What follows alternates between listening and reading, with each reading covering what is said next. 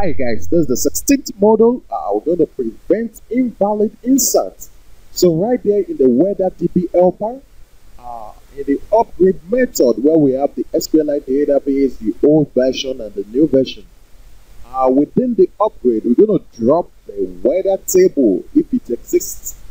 Uh, calling the SQLite database and execute SQL where we have the drop table if exists concatenating it with a weather entry based on the table name. Uh, we're going to call onCreate and pass in the SQLite database uh, into the on upgrade, which is the onCreate and pass in the SQLite database. So this is actually going to prevent uh, unwanted invalid inserts.